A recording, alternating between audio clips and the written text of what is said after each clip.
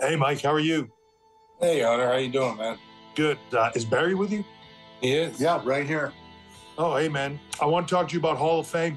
This year is a uh, a big year. It's the 40th anniversary of WrestleMania, but you two were there to start it all. You two were there at the very first WrestleMania. We wouldn't be where we are today without you guys. And I'd like to tell you today that we are going to induct both of you into the WWE Hall of Fame in Philly. Thank you, Hunter. Thank you. The call every superstar dreams about. A pleasant surprise for brothers in law Mike Rotunda and Barry Windham, though their success was hardly shocking. Mike was an accomplished collegiate wrestler. Barry, the son of the famed Blackjack Mulligan.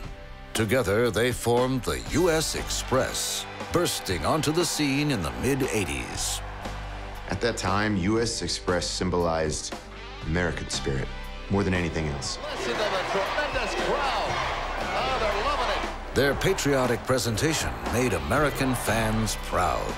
American flags everywhere. And no one questioned this tag team's constitution. They weren't just two big men out there beating the tar out of each other. They were two guys that were showing symmetry in their tag team moves, and that's something that I don't think was highlighted as much on WWE television as it should have been at the time. The U.S. Express was on a fast track to stardom, and then added Captain Lou Albano as manager, Born in the USA. I'm a short fat daddy from the USA, baby. propelling them to their first tag team championship New champions of the world. and setting sights on the historic first WrestleMania. Baby, I'm ready, Teddy. We're ready. You be ready. I'm ready. Ladies and gentlemen, welcome to WrestleMania. And who better to challenge the American ideals than Iranian Iron Sheik and Soviet Nikolai Volkov? What a matchup this is going to be. 25,000 plus here in the garden chanting USA. Victory is the goal, but it was elusive for the U.S. Express. Oh, he nailed it with a cane. Madison Square Garden stunned here as Windham and Rotundo lose their titles. Still, they would not be denied. In a rematch merely months later, Windham and Rotunda reclaimed their place at the top of tag teams. We have new champions, history made. Oftentimes, I feel like there's so many unsung heroes of professional wrestling. They helped form the foundation of tag team wrestling at that time.